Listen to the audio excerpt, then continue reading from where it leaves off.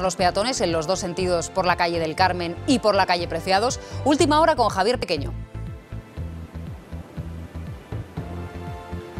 Buenas tardes, pues como podéis ver detrás de mí, mucho ambiente festivo y de compras aquí en el centro de Madrid, pero por el momento la Policía Municipal no ha hecho uso de este protocolo de sentido único de las calles Preciados y del Carmen, un protocolo que ayer sí se probó por la tarde a las 8 de la tarde de forma experimental.